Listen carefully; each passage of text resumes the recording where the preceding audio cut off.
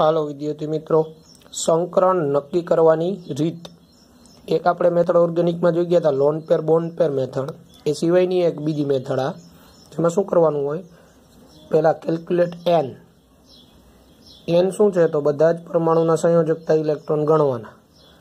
એટલે total valence electron if all atom plus number of negative charge minus number of positive charge negative charge હોય તો ઉમેરવાનો positive charge બાદ કરવાનો.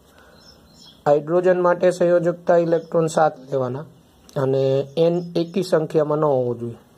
હવે આટલું થઈ જાય પછી સ્ટેપ ટુ એન જે મળે ને એને આઠ વડે ભાગ, ભાગો અને ભાગફળ અને શેષ મેળવો. કોશિયન્ટ ક્યુ અને શેષ આર ક્યુ શું સૂચવે? નંબર ઓફ બોન્ડ પેર એટલે સિગ્મા બોન્ડ કેટલાય? R lone electron અબંધકારક electron R by two lone pair હવે ટોટલ પેર શું થાય?